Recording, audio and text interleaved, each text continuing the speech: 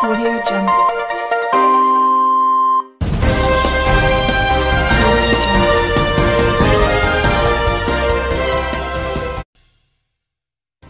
नमस्कार दोस्तों, स्वागत है एक बार फिर से हमारे YouTube चैनल पर। दोस्तों, लोकसभा चुनाव 2019 के लिए आज से पहले चरण की वोटिंग शुरू हो गई है। इस चरण में आज 20 राज्यों में इक्यानवे लोकसभा सीटों पर मतदान हो चुका है। जहाँ यूपी की बात करें तो यूपी में आठ सीटों पर मतदान हुआ है, जिसमें सहारनपुर, कैराना, मुजफ्फरनगर, बिजनौर, मेरठ, बागपत, गाजियाबाद और गौतम बुद्ध नगर पर मतदान हुआ है।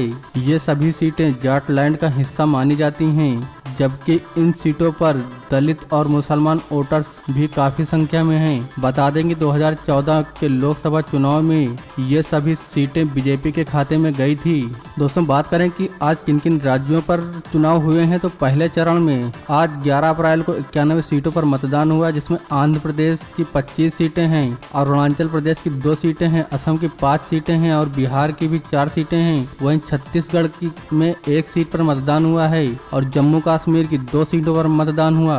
वहीं महाराष्ट्र की बात करें तो यह सिर्फ़ यहाँ पर एक सीट पर मतदान हुआ और मेघालय में भी एक ही सीट पर मतदान हुआ है। मिजोरम में भी एक सीट का मतदान हुआ। उड़ीसा में चार सीटों पर मतदान हुआ है। तथा सिक्किम में भी एक सीट ही पर मतदान हुआ। तेलंगाना की बात करें तो यहाँ सत्रह सीटों पर मतदान हो चुका है। त्रिपुरा में एक सीट पर मतदान हुआ, जबकि उत्तराखंड में पाँच सीटों पर मतदान किया गया। तथा उत्तर प्रदेश की आठ लोकसभा सीटों पर मतदान हुआ। पश्चिम बंगाल में दो सीटों पर मतदान हुआ।